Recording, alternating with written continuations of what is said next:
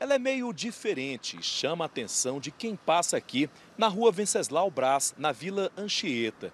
Afinal, não é comum encontrar uma árvore vestida assim toda no crochê. Olha, a ideia de vestir, se é assim que a gente pode dizer, essa árvore veio da Vaina Marta. Na verdade, essa ideia surgiu há mais ou menos um mês, através da tia dela, que ama, amava crochê e já vinha fazendo algumas peças. E ela então uh, acabou, o pessoal decidiu doar essas peças para você. E aí como é que surgiu essa ideia? Não, vou vestir essa árvore para homenagear minha tia. Então, é, eu já tinha esses, esses tapetes que ela havia me dado. E lembrei de que já tinha visto, né, é, algumas vezes na TV.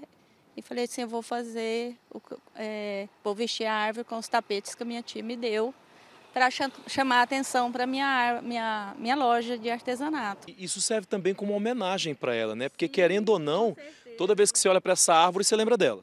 Então, claro, né? É a minha tia aqui, né? Eu gostaria que ela estivesse aqui, mas ela está em viagem, né? Vaina conta que o tempo todo várias pessoas passam na porta da casa dela e param para tirar fotos em frente à árvore enfeitada. Eu já vejo gente fotografar para participar de concurso de fotografia. A maioria é para porque acha bonito mesmo, quer mostrar, quer mandar para algum familiar, né? A tia da Vaina está fora do estado cuidando de uma filha que passou por cirurgia. A artesã garante que a homenagem que fez agradou muito a tia, que passou por momentos difíceis quando perdeu o marido. Nesse período ela fez bastante crochê, foi, a maioria foi desses foi nesse período. E me chamou na casa dela e pôs lá e falou: leva o tanto que você quiser. Eu fiz mesmo para passar o tempo, para passar esse período. E eu peguei, guardei, né? Não tinha nem lugar para usar tanto. Não é só com crochê que a Vaina trabalha, não. Ela herdou da mãe a paixão pelo artesanato e hoje faz de tudo um pouco.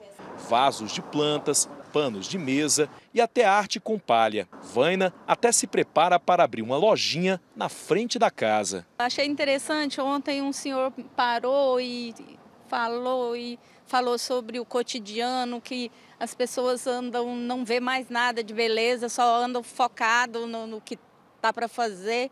E de repente vê uma coisa assim, ele, ele disse que tinha ficado emocionado. E segundo ele, ia passar a olhar mais para as belezas que tem na rua, não só uma árvore assim, como tem várias outras coisas bonitas na rua, né? Árvores floridas nessa época tem bastante.